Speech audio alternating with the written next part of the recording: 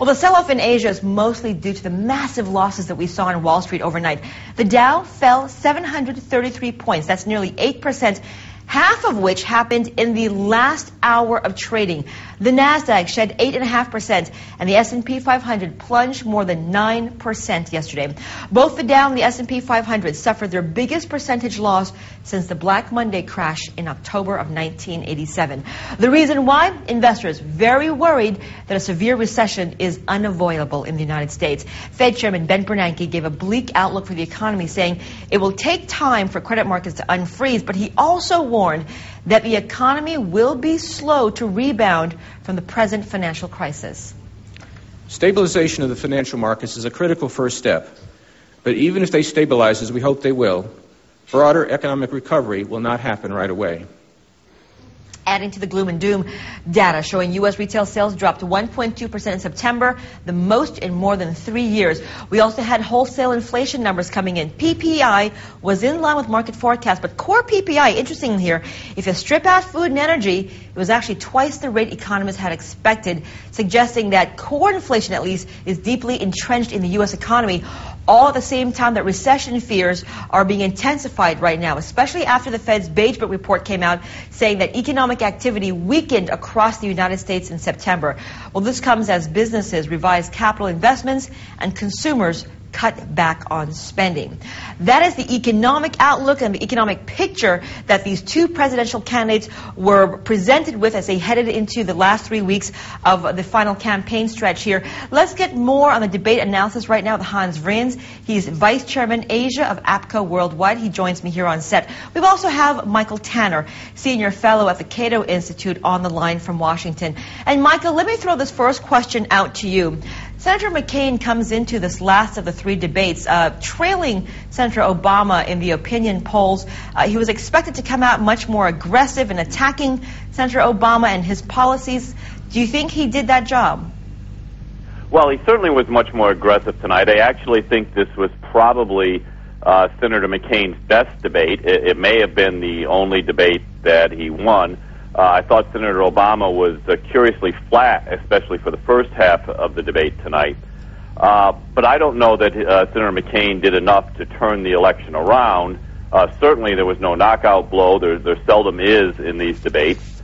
Uh, he may have set up the themes that he can use in the last three weeks of the campaign. I thought he was particularly aggressive on the on the economy, on taxes, on big spending in Washington. These are themes that uh, he should be able to play on in the last three weeks, uh, but I don't know if it's enough to overcome Obama's lead. And Hans, let me throw this question at you. When you compare the both the performances, uh, how do you think this debate shaped up in terms of final voter impressions? Um, I think that uh, was a clear difference how the two candidates uh, behaved. I thought that uh, uh Senator Obama behaved very presidential while Senator McCain was really trying to score points. But I, it was my impression he was not very successful at it. Only uh, it sounded almost desperate at some points. Well, you really saw Senator Obama addressing the American people and trying to explain his policies. Very simple and clear terms. It was mainly uh, Senator McCain trying to attack uh, Senator Obama. And uh, Michael, we've got three weeks left before Americans go to the polls. What still can be done or needs to be done by both these campaigns if they want to clinch uh, the victory?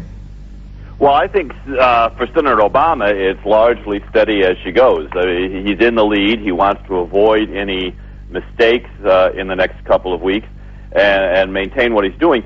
He has not had a history of being a good closer. If you look back to the primaries, uh, undecided voters tended to swing against him in the primaries, uh, so he can't be complacent about the leads he's showing right now.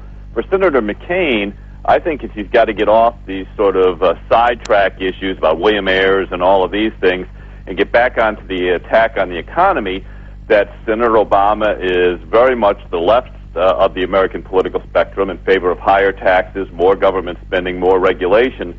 And I, I think that that's the message he's got to try to drive home in the next three weeks. And Hans, uh, the economy certainly was uh, first and foremost for both of these candidates in this debate, not just this one, but in the previous debates as well. Do you think in the last three weeks, or in this next three weeks, I should say, the last three weeks of the campaign, that Senator McCain can capture the economy as his main selling point in a way that Senator Obama has been able to do so? Uh, so far, he has made clear it's not his favorite topic.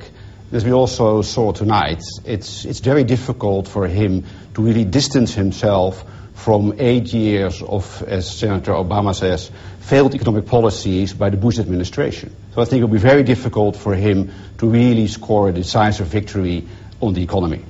Do you think that as long as we are in this market turmoil right now, that only helps Senator Obama versus Senator McCain then? I think that's very clear. As we have seen in the opinion polls, the uh, Obama really shot ahead after the uh, financial turmoil uh, started. So this is clearly helping Senator Obama. And Michael, do you think if we get some kind of turnaround in the financial markets worldwide, that that could help Senator McCain's uh, campaign here? Yeah, well, actually, it probably would. Uh, the the voting public tends to have a very short memory. Uh, three weeks is a long time in politics. If the week before the uh, election the markets are up all week, that could have an impact. Uh, but the fact is that uh, the party in power is usually blamed for bad economic times, whether or not they're responsible for it. So voters uh, voters are tending to punish Republicans right now, uh, and uh, that's the tough trend to overcome. Okay, I'm going to put you both on the spot right now. Uh, Hans, are you willing to make a call on who you think is going to win the election? Although I agree with Michael that three weeks is a long time in politics, it's, it's difficult to see uh, how uh, Senator Obama can lose this election. Okay, and Michael, are you willing to, uh, uh, to put your neck out there and, and give a, a, call? Well, if the election were held today, Senator Obama would clearly win. Uh, there are three weeks. Things can change. It, it, it is probably about a four or five point lead according to the most reliable polls right now. That is something Senator McCain can overcome, but he's really going to have to change the terms of the debate, something he hasn't been able to do so far. All right, gentlemen, thank you both for joining us today. Michael Tanner, Senior Fellow at the Cato Institute, and Hans Vriens, Vice Chairman Asia of APCO Worldwide. Thank you for joining us.